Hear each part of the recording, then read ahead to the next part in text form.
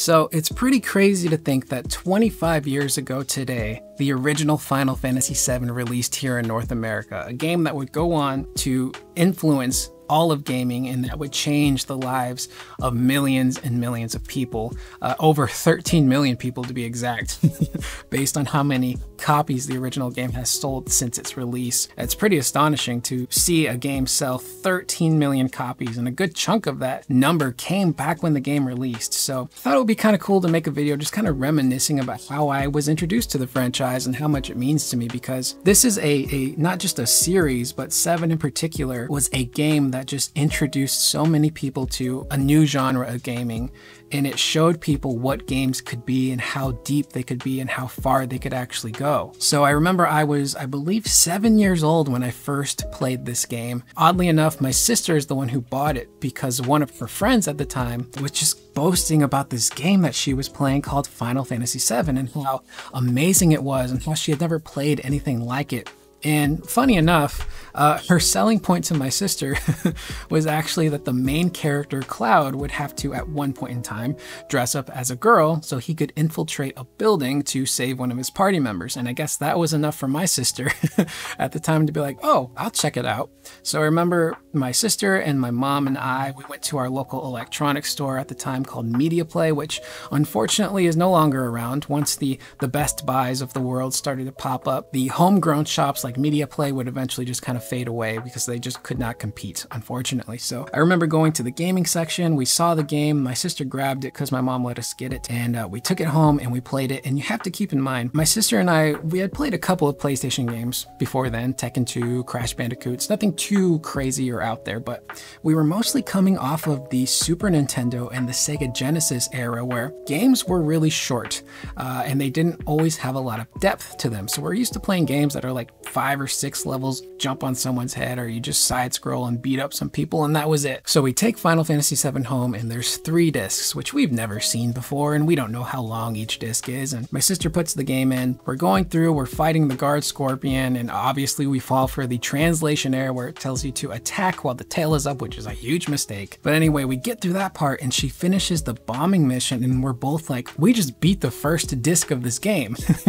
not knowing how much more we actually had to go. So eventually, over time, my sister would stop playing games, and I started to pick up the games more on my own. And I decided one day, grab Final Fantasy VII, and I put it in, and I started from the very beginning, and I left the character names alone. I didn't want to change them. I wanted to just kind of play through this game and see what it was, and I was not prepared for the adventure that I was going to go on.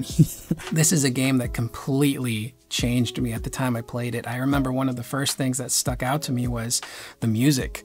Just hearing how different it sounded and how it sounded so epic, like a movie, you know, and the game itself felt like I was playing through a movie. And I remember beating the bombing run mission and just progressing further and further and further into this game and learning about the characters and realizing that games can be so much more than what I thought they were because these were fully fleshed out characters that had backstories and depth to them and development, and you found yourself starting to care for them. And, you know, I remember experiencing all the highs and lows of that game, and obviously one of the lowest parts of that game is when you, spoiler alert, lose Aerith and she dies. And I probably may have been too young to experience this, being seven years old, but I remember everything about that day when I reached the point where Aerith dies. I remember what I was wearing.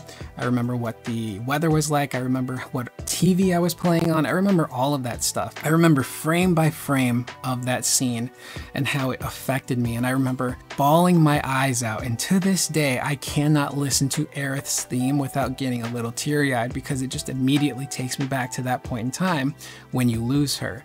And imagine a seven year old kid crying his eyes out, and then the, the devs expect you to go through with a boss fight. Because immediately after she dies, you have to do a boss battle with one of the Jenova creatures. So that was kind of hard for me to get through at the time. And I remember I had to pause the game, try and collect my thoughts, which was not going to happen.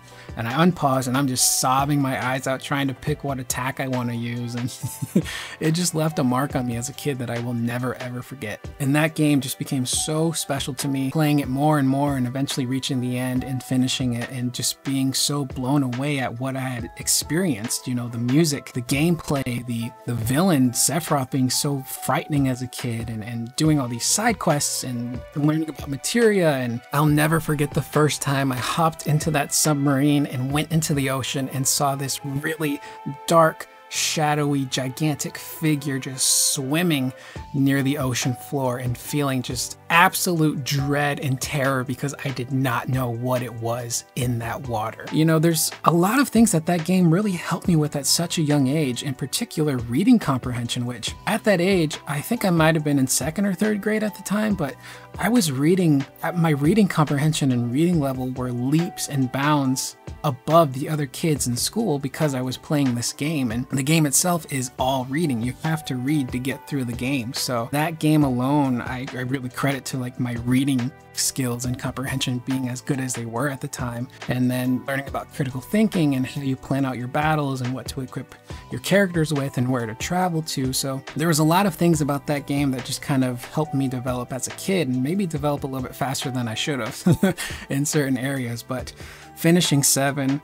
I believe it might have been a year or two later when Final Fantasy VIII came out, and my mom let me get that. And I remember taking it home because I was so excited to see how different it was going to be from seven. And I fell in love with that game. And then nine would come out, and then 10 you would come out, and 10 was the one that was next gen. It had voice acting, it was completely different, and it was a really exciting time. So it's pretty crazy to think about how one game in particular can get you into a franchise that you would then love as a whole. It's almost kind of like a Doctor Who situation where everyone has their favorite doctor, who is the doctor they love, and then everyone has their first doctor, who is the doctor that was the doctor at the time that they were introduced to with the show. So for me, my favorite doctor would definitely be Peter Capaldi, but at the time I got introduced to the show, David Tennant was the doctor. So it's kind of like one of those situations, but you kind of love it all no matter what. So, and seeing everyone's overall excitement and happiness happiness and just overwhelming amount of joy for the announcement and eventual release of Final Fantasy VII Remake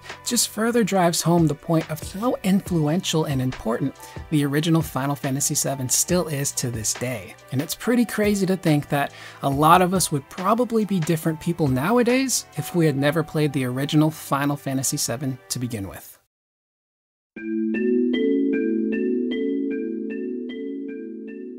So that's the video, guys. I am Curious Corduroy. Uh, I would actually love to hear your guys' journey with Final Fantasy VII, so leave that in the comments down below. How did you get introduced to this game? What was your age? What was your first experience? How did it change your perception of gaming? I would really love to hear that, so please leave all of that information in the comments down below. I think it'd be really cool if we could all just share our stories with one another with how this game really affected us. So I will see you guys in the next video. Please remember to always be excellent to one another.